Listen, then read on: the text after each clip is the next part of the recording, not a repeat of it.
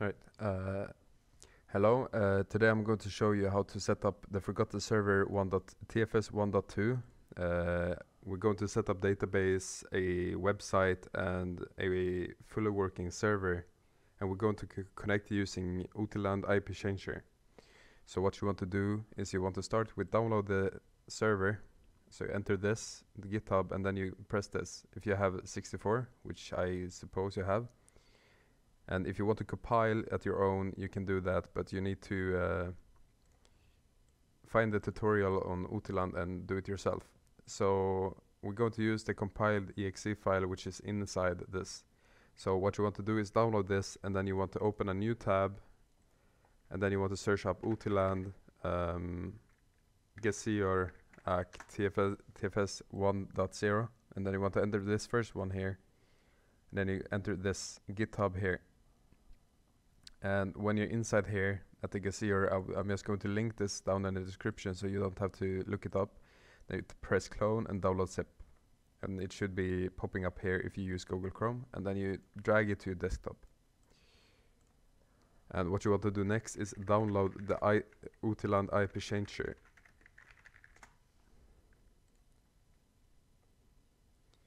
Which you should have here and when you have downloaded that just drag that to your desktop. I already have that on my desktop sadly so I'm not going to do that.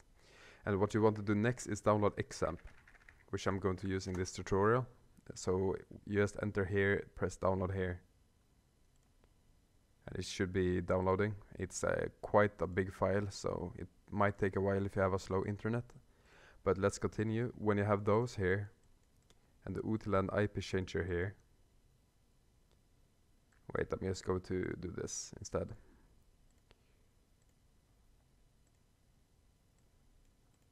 Just in case. Um, Alright, when you have those three here and the XAMPP set up, which I'm not going to show you how to because it's pretty easy to just mm, go through the whole setup. So when you're done, you just open this, uh, the server folder, that forgot the server, you drag it out on the desktop like this. And when you have it there you put it there. And then you have the UCK here. You can leave it for now. So what you want to do is you want to enter this uh, this uh, server folder and then you enter the config. And if you don't have notepad++ I recommend you to download it else it will look look like this.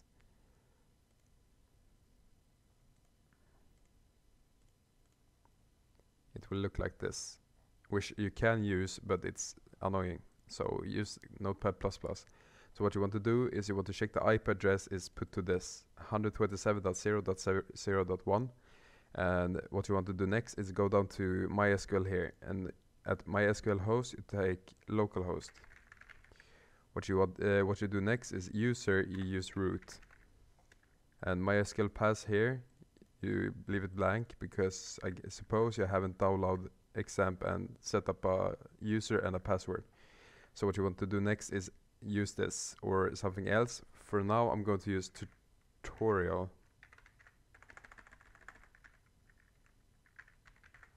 And what you want to do next is just simply go down he here, hit the enter button and type password type equals and those and then you take SHA1 this I'm going to leave this down in the description as well so when you have done this, you're going to save it and then you're going to close it. And what you want to do next is just open the database. So you open XAMPP control panel, then you pr press start on Apache and MySQL. And what you uh, what you do next is hit this admin button here. So you come to this uh, this page here. Then you want to click on databases and type it in. When you when you are at the tutorial here you want to import and then choose file and then you want to go to desktop into the folder and take schema.sql and then press open and then press go down here. And that should add the whole uh, database. And when you have done that you want to enter a, a folder here file explorer.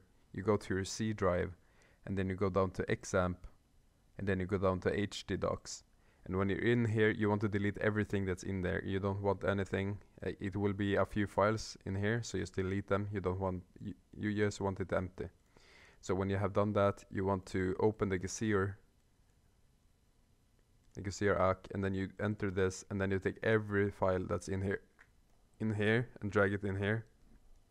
And then you can close the WinRAR when you've done that you want to enter here enter your browser enter localhost and when you are here, you see you must install ACC. Please visit this, and then you press that. And if this pops up, you just take, you simply copy this IP address that's here. You go into the htdocs file, and then you double click on this install here. So this po pops up. Then you replace this and uh, hit file and save. And then you just simply refresh this, and this will pop up. Then you press set server path at one. And what you want to do is you want to go to the server fo uh, server folder and you want to copy this. You copy all this and then you paste it in here. And it should be working because you use the same. And then you press step 2 step 3 and this might take a while because it's adding into the database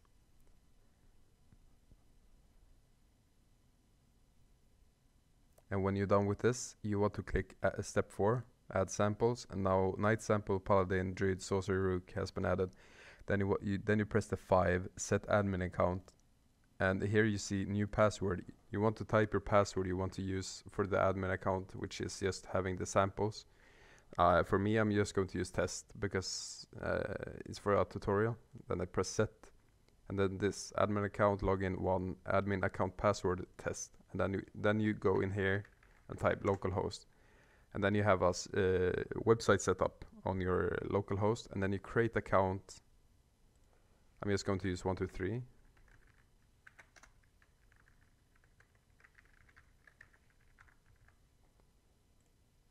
and what you want to do is just simply create a character on the account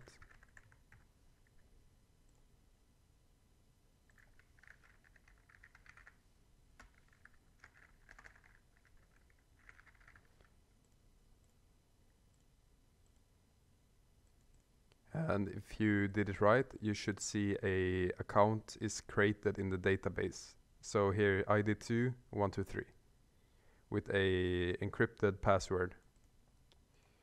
So when you've done this you can simply just minimize the whole browser and you can go here and you can start the server. And when it started up you want to do this. You want to open this IP changer and then you want to download the client the 10.98 I think you can uh, find it here. No you can't. Uh, then you go to Google. Uh, Tibia 10.98 client download. And then you go into the first one utslist.org then you take this uh, Tibia 10.98 and then you download this through Mediafire. And this will take a while so I will skip this So once you download downloaded tibia.98, you can minimize this and drag it out on your desktop. And when you've done this, you want to open it. And then you can double click this. And this should pop up. And then you press next. I, I, I accept the agreements. Next, and then you click browse. You can take it at your local disk C drive and then just install this and you don't need a, a desktop icon for this so just install. And when this is finished you want to enter here and enter your C drive. And once you're at your C drive you can just copy paste this out on the desktop. So what you want to do is Otland IP changer here. Uh, use the same IP 127.0.0.1 and then you press settings always launch a new a new client if you want this and you can even force graphic NU to direct x9 and then you do this you create you take add a new Tibia client. Add a new Tibia client and then you take here version you type 1098 path, you take browse, desktop, and then you take the tibia there, and then you take here, the client there, 10.98, open, add, close, apply.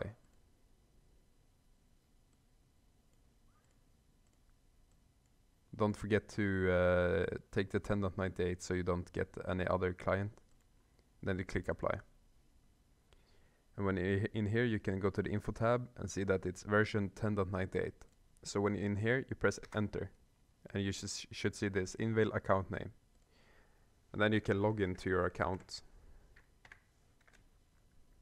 And you should be good to go. A server is created. So if you want to add yourself as a god, you simply go into, you can minimize everything so you can enter here, forgot the server, data XML. And when you see groups here, you can right click edit with notepad. As you see here, the ID here is 3 that is set to God. So what you want to do is close this and enter your database. Once you're inside, you want to take accounts here and then you need to log out your character. You need to log out. So what you want to do is type you can take 5 but I'm going to take 9 which is full access to everything. And then you go to player players here. You see the name here group ID you double click it. You remove the 1 and replace it with a 3 and press enter. And then you can minimize enter here and log in. And once you're inside you see yourself as a god and you should be having your own server and you can just play with friends if you port forward on your network and uh, give them your IP address. And uh, if you want to host your server for just like yourself just doing things in game this is how you do with the IP 127.0.0.1 so uh, good luck on your project and if you want another tutorial just let me know which uh, TFS version and I will do my best to uh, update you. So uh, have a good one.